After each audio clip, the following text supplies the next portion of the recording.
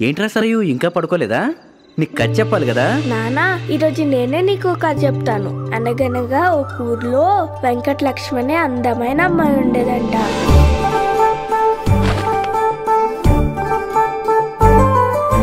అదే ఊర్లో ఉంటున్న ప్రభుకి వెంకట లక్ష్మి అంటే చిన్నప్పటి నుంచి చాలా ఇష్టం అంట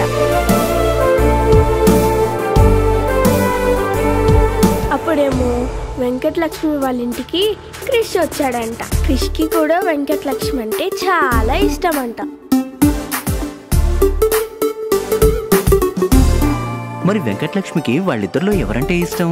అది తెలిసే లోపే వెంకటలక్ష్మి మిస్ అయిపోయిందిగా.